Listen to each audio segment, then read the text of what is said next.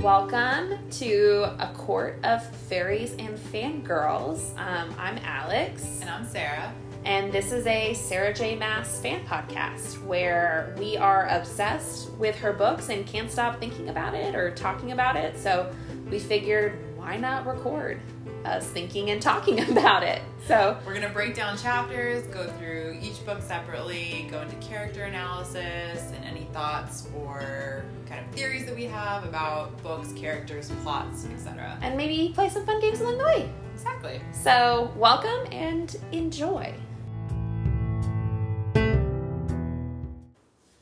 Okay. So, this Mini-sode. is- Mini-sode. And this is full of spoilers about the spoilers that the Suriel spoiled of Feyre. And uh, so, spoiler of spoilers of the Suriel. Yeah.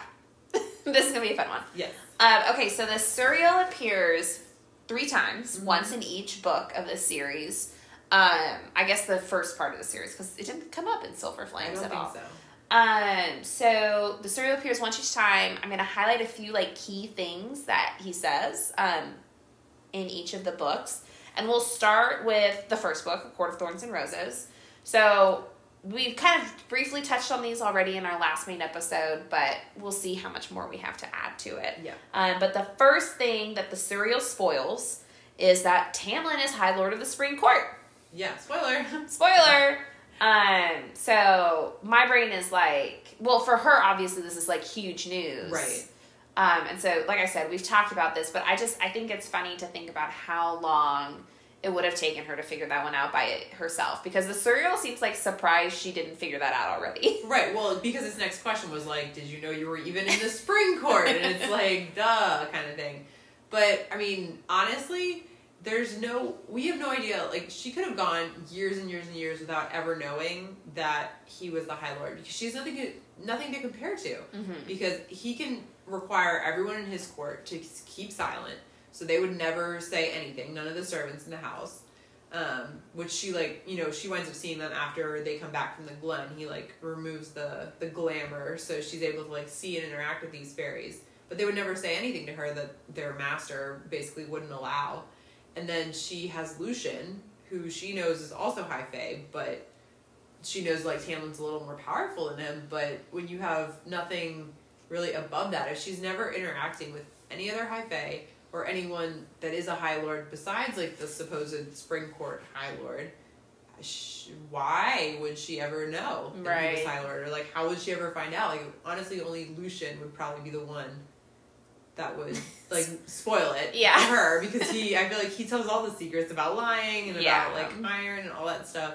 But again like if he works or if he's part of Tamlin's court like Tamlin could technically order him to be silent just like the whole Yeah. Amarantha thing like they don't nobody else is allowed to say anything so she might never know Right. which would be you know interesting What you said though did just remind me though, everything we've like learned is from Lucien. Like we learned Tamlin's name. We Yeah. learned about the lion and the iron. I'm just Lucien has loose lips, apparently.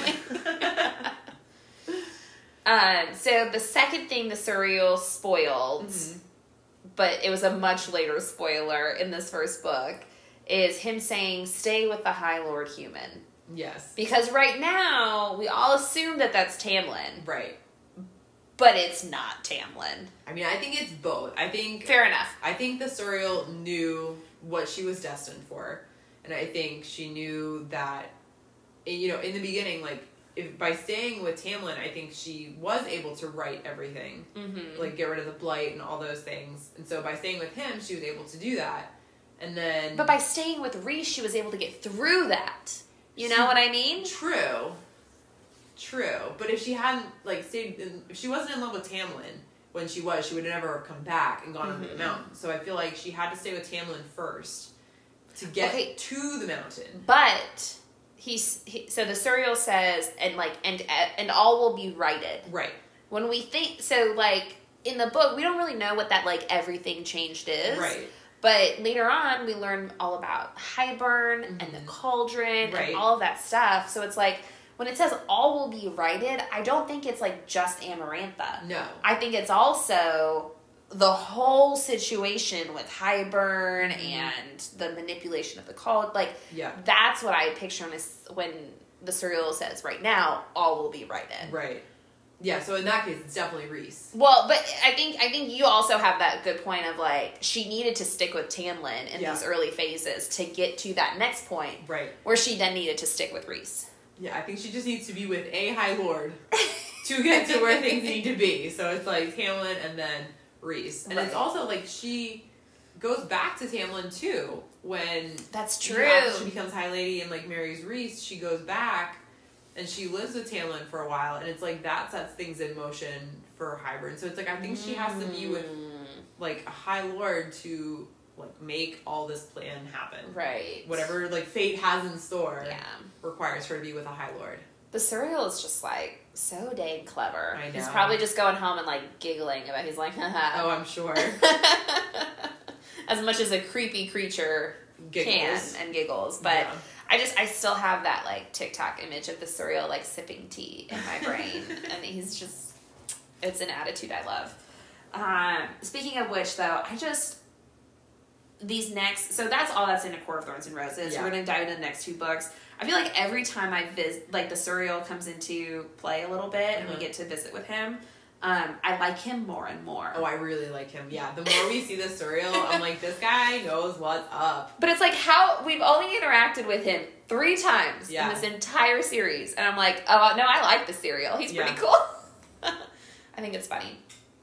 Uh, okay, so Court of Mist and Fury. Yes. Let me find the right.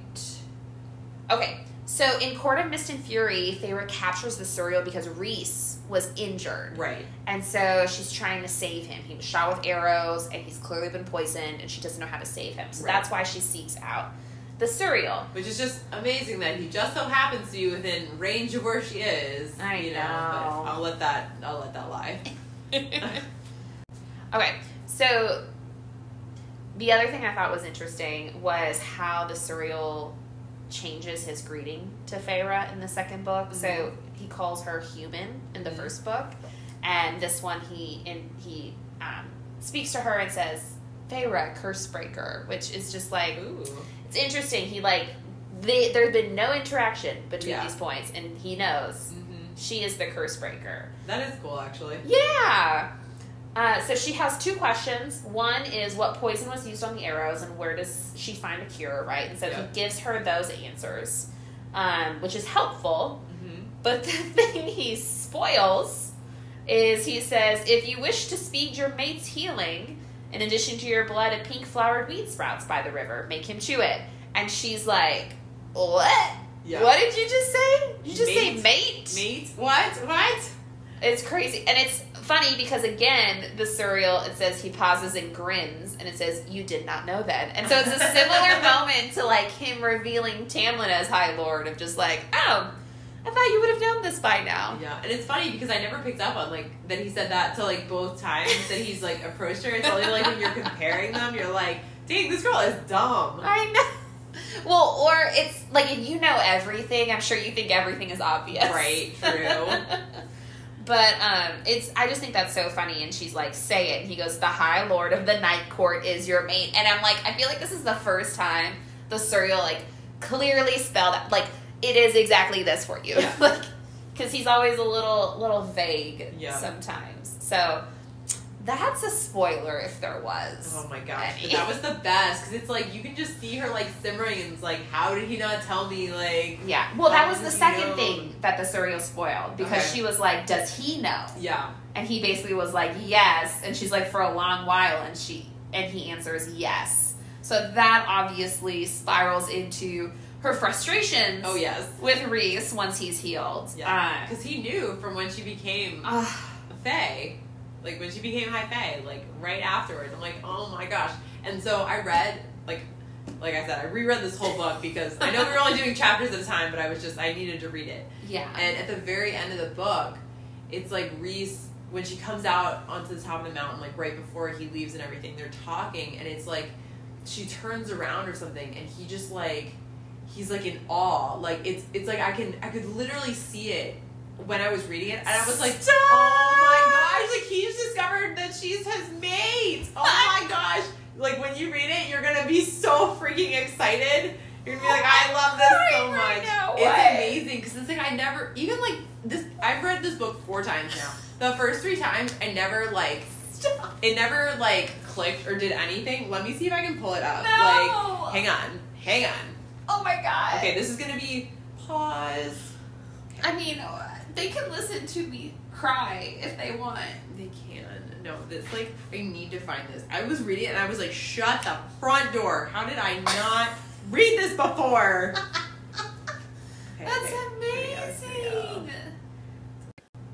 Okay, so he said, Well, goodbye for now, he said, rolling his neck as if we hadn't been talking about anything important at all. He bowed at the waist, those wings vanishing entirely, and had begun to fade into the nearest shadow when he went rigid. His eyes locked on mine, wide and wild, and his nostrils flared. Shock, pure shock, flashed across his features at whatever he saw on my face, and he stumbled back a step. Back a step. Actually stumbled. What is, I began, he disappeared, simply disappeared, not a shadow in sight into the crisp air. Oh my I was like, how have I never noticed this before? I was like, he literally saw her. I am writhing on Sarah's couch. Saw her. Oh my god. Is that not the best? Like, I was like, how did I never see this before? That's like the best part of the whole book. The whole first book, that is the part. I was like, this is amazing. How did I not notice this? I'm so emotional right now. I know. I know. Oh my god. It only took me four times to understand Sarah J. Maas's amazingness. You're welcome, reader. You're welcome, readers. I am officially giving you the best part of the first book. wow. Right? Isn't that amazing? I just Because they always they always talk about like when they when you see your mate, it like locks in, and I'm like, I see that. Like I can literally Right. picture this happening. Yeah, Like, it's not necessarily the first time you see them, but there's like a moment where Yes. it clicks into place. And he like wide eyes and like takes a step back, like in shock. I was like, oh my god, that was it. That was the moment. I love this book series so I know. much. I know. I, it's like I never thought I would find like new things about it, but I just found that this time I read it and I was like, this was the best thing ever. I love it so much. Wow. Okay. Spoiler, spoiler. I'll also drop that when we talk about those chapters. Actually, no, I can't because they don't know about Rhys They yet. don't know about it. Okay, I won't drop it then. But that's why you're listening to a spoiler. spoiler minisode. That's why when we first started making this podcast, I was like, we have to have one where we can talk. Uh, Yes. Like some part, some episode thing we where we can just talk. Yes. Hence the minis, which are we're doing a really bad job historically of making the minis, but we'll see how this keeps going. But wow, that made my night. I know, right? I thought it was the best. I was so excited when I read that. I love that so much. Um, okay, one last thing in the Suriel in the Court of Mist and Furies, or in in a Court of Mist and Fury, is at one point she's questioning that she's his mate. Mm-hmm. She's like, "How can I possibly his be his mate? Mates were equals, matched at least in some ways." Yeah. And the Suriel goes, "He's the most powerful High Lord to ever walk this earth." Which pause. Okay. I know you're like, wait, what? Like ever, ever, Ever. ever? Yep. And you're like, woo! And then he continues and he says, You are new. You are made of all seven high lords, unlike anything. Are you two not similar in that? Are you not matched?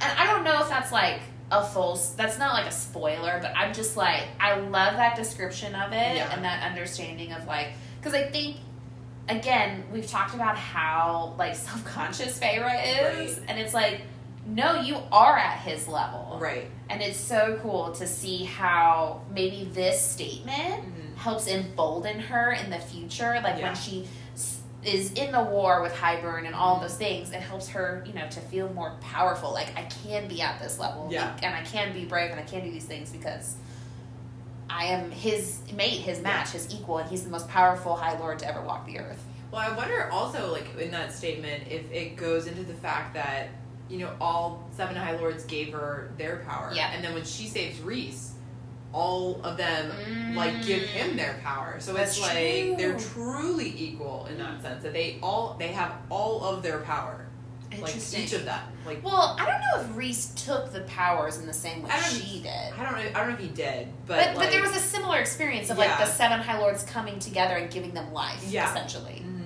That's so interesting. yeah. All right, and then the Suriel pieced out on that one. So we're done with a court of mist and fury. Okay. So now Mhm. we are in a court of wings and ruin. Okay. And so, in the thick of war, Mhm.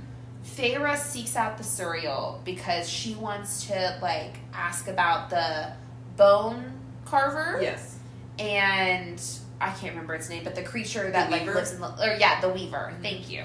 Um, so she she seeks him out to ask about that and like the war essentially. So she um seeks him out, and then so when the when the Suriel finds her, he asks her, "Have you come to kill me or to beg for my help once again, Feyre Archeron?" I just like how he introduces himself to her. I find them funny. Um, so she talks with him, um, and he says, "You wish to know where Hybern is hiding his, its army." And she goes, "Yes, and other things, but let's start with that." And he reveals, "Even I cannot see that." So it's like for once, Yeah. the Suriel's having a hard time answering some of these questions because of the cauldron Mm-hmm. and that the King of Hybern is controlling. Um, but that doesn't stop the Suriel from trying to help her, Right. even still. So he reveals that like calls to like, Mm-hmm. and to leverage Elain or Nesta Yep. To look for the cauldron. So that is a huge help Yeah. to them finding the cauldron and finding the king of Hybern, which is really cool. Um, she also asked because she went through this thing where she tried to essentially get rid of the cauldron, Yeah. right? Um, she says, "Why did the cauldron not react when I joined the book and spoke the spell to nullify its power?" And he goes, "Because you did not hold on for long enough." And she goes, "It was killing me." And he says, "Did you think you could leash its power without a cost?" And that feels like major foreshadowing Yes. For the end of the this cause. book. Exactly. Because I think they convinced themselves, like, oh, the two of us together can do it. Yeah. And it's like, Well, I think Rhys convinces her right. that the two of them could do it, but he knew he was going to give everything. And he's the most, like, Oh, we just learned, he's the most powerful High Lord to ever exist. He's the most selfless High Lord to ever exist. I love him so much. He's truly the best. Um, but so, unbeknownst to Feyre, I feel like the Suriel is kind of spoiling Yes, for sure. that ending a little bit also. So she asks him, like, would the bone carver make a difference? The Suriel answers her, and she's the Suriel says, I cannot see, not him. He is not born of this earth. His thread has not been woven in. And I just think that's very interesting. Yeah, It's like, what do you mean he's not born of this earth? right. It's like, well, where else is he from? Right. And so this is a spoiler that I don't think we know yet, No. but I'm convinced, not to go too far into it, Yeah. but this connected thread theory between all the Sarah J. Maas universes Yeah. is where this will eventually come in. Could definitely, potentially. I mean, because just think about, um, oh, what's her face? Um, his second in command. Amren, Amren. Thank same you. thing. Yeah, it's like she was not of this earth, and like at the end, like she, you know, goes through all that craziness and like whatnot, and then comes back like reborn, Mhm. like of this earth. So it's like, is like is somebody else gonna be reborn? Like I just think about like, I don't know, like all that inter like other universe type stuff. Like Right. it's definitely, I'm sure it's definitely all connected. Right. And then not to pull from like a different Sarah J. Maas series, but like we know from Throne of Glass Yeah. that there are connecting points. Yes. Because it connects back to this book. Right. And the way that Crescent City is set up Mm-hmm. feels like this weird mix where it's like, are they? Is this just like a landing place where like creatures and people from all these different groups have kind of like ended up together? Yeah. And so I don't know. I think there's something to come. Yeah, I definitely think it's possible that all of them will connect. Exactly, and I think that's I think the Suriel is alluding to that a little Yeah. bit here when he talks about these other creatures. Mhm. So, um, okay, and then so then she's also talking about the bone carver Mhm. and how the bone carver wanted the Ouroboros, the that mirror of Yeah. beginnings and endings. Um, and she says, "I cannot retrieve it," and he says, "You're afraid to look to see what's within." She says, "Will it drive me mad, break me?" And this is what I love Mm-hmm. the Suriel says it says it was an effort not to flinch at that monstrous face at that milky eyes and lipless mouth same description that's so creepy Yep. it says all focused upon me only you can decide what breaks you curse breaker only you Mm. and i love it Yes. I feel like it is like it's both looking back retrospectively. Like that's like Feyre, this is how it's always been. Yeah, you're the one that decides everything. Like you are allowing things to break you, or you're choosing to not let them break you. Because like if you think all the way back to like her mother dying, her family being impoverished, her being taken from her family and losing like every from the very beginning all the way Tamlin locking her up, all of those things. None of those truly broke her and that was of her own power. Yeah. And so it's like we see this that this was true, Mhm. but also I'm so excited to see how it like continues to be true Yes. because we have more books coming and so i'm just i'm interested to see like i just what what else Yeah. what else is there and i just love that quote so much i see people get that tattoo all the time of Oh, like really? you get to decide what breaks you or something along those lines and i just love it. I do love that. Only you can decide what breaks you Mm. so then he gives her a few more tips um, on how to stop Hybern right he he starts talking about that the the books hold the key and basically to like work with Amren. Yeah. But then in the middle of him explaining that to her, he is shot Yep. with an arrow by freaking Ianthe. Yep. I hate her. That bee. And the Suriel dies. Yep. And I was so heartbroken. I know. It was So so, sad. It's like this creature that you've met three times over a series of three books. It's so sad that he's killed. Right. Like I felt so sad, and I shouldn't feel that connected to a character that really has done nothing in the book. You know well, what I mean? He's done nothing, but he's done so much. Yes, he's He given keeps- her all of the important information that she's Mhm. that she needs for everything. Yep. And like Ianthe even says, like, why does it talk to you, Feyre, when it would not even deign to speak with me? So it's like he did not have to be doing this. Yeah, Like she's not like yes, she caught him. Like mm-hmm. y- yes, she's lured him every Right. time. She's not some badass monster that's No. forcing him to speak. yeah, He willingly did this. Like Right. there's a connection on his side too. It just like it honestly like reminds it just it weirdly reminds me of like a father figure. I don't know if that makes any sense, but just that idea of like like a child like asking these questions and like being kind of like silly and you're just like, "Oh, kid." I feel like it's almost like this like I don't want to say like God vibe, but it's like almost like a God Yeah. vibe where it's like all these different like he's not of this world, so it's like this Right. other like it's like universe and fate, and like he has all this like all knowing knowledge that's like not of this earth, and it's like he's there to give guidance, but it's not generally super clear, and it's Yeah. like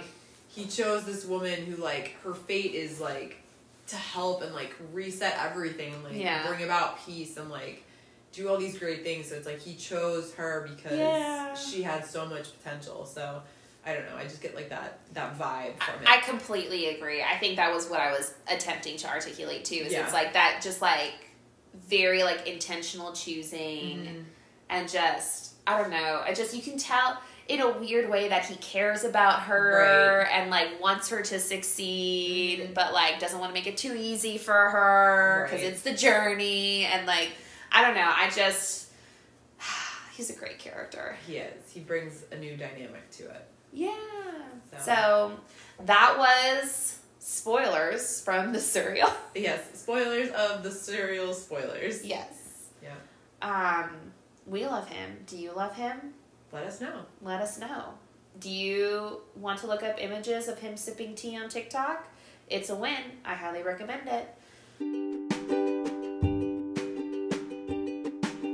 Thank you so much for listening to A Court of Faeries and Fangirls, a Sarah J. Maas fan podcast. Please rate, review, and subscribe. And let us know what you think. Jump in on the conversation. We look forward to chatting with you more next week. Bye bye.